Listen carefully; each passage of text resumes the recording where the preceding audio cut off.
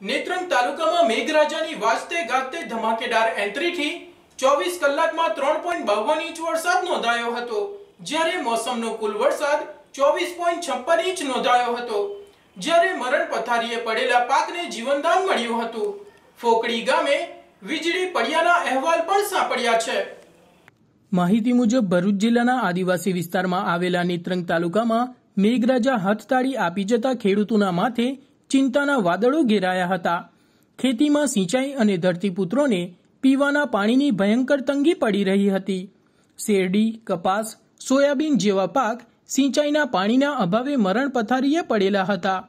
ભારે ગરમી અને બફાળાના કારણે જનજીવન અસ્તવ્યસ્ત બની જવા પામ્યું હતું. વહેલો વરસાદ થાય તે માટે ધરતીપુત્રો મેઘરાજાને આજીજી કરવા મજબૂર બન્યા હતા.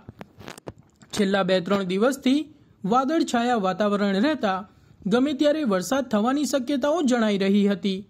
જેમાં ગત રાત્રિ મેઘરાજાની વીજળીના કડાકા ભડાકા સાથે ધમાકેદાર એન્ટ્રી થઈ હતી. છેલ્લા ચોવીસ કલાકમાં ત્રણ પોઈન્ટ બાવન ઇંચ વરસાદ થયો હતો, જ્યારે મોસમનો કુલ ચોવીસ પોઈન્ટ છપ્પન ઇંચ વરસાદ નોંધાયો હતો. વરસાદ થવાથી મરણ પથારીએ પડેલા પાકને જીવનદાન મળ્યું હતું. નેત્રંગ રાજપારડી રોડ પર આવેલ ફોકડી ગામના સબસ્ટેશન પાસે વીજળી પડ્યાના અહેવાલ મળ્યા છે. કોઈ જાનહાનિ કે નુકસાન બાબતે જાણવા મળ્યું નથી. એકંદરે સરેરાશ વરસાદના પગલે ધરતીપુત્રોમાં આનંદ વ્યાપી જવા પામ્યો હતો.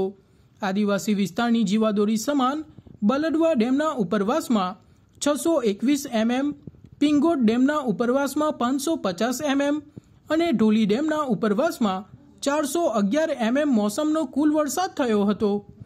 ત્રણેય ડેમની પાણીની સપાટી, બલડવા ડેમની ઓવરફ્લોની સપાટી એકસો એકતાલીસ પોઈન્ટ પચાસ મીટર, જ્યારે હાલની સપાટી એકસો છત્રીસ પોઈન્ટ એંસી મીટર પિંગોટ ડેમની ઓવરફ્લોની સપાટી એકસો સાડત્રીસ પોઈન્ટ સિત્તેર મીટર, જ્યારે હાલની સપાટી એકસો છત્રીસ પોઈન્ટ પાંચ મીટર, ડોલી ડેમની ઓવરફ્લોની સપાટી એકસો છત્રીસ મીટર, જ્યારે હાલની સપાટી એકસો તેત્રીસ પોઈન્ટ દસ મીટર.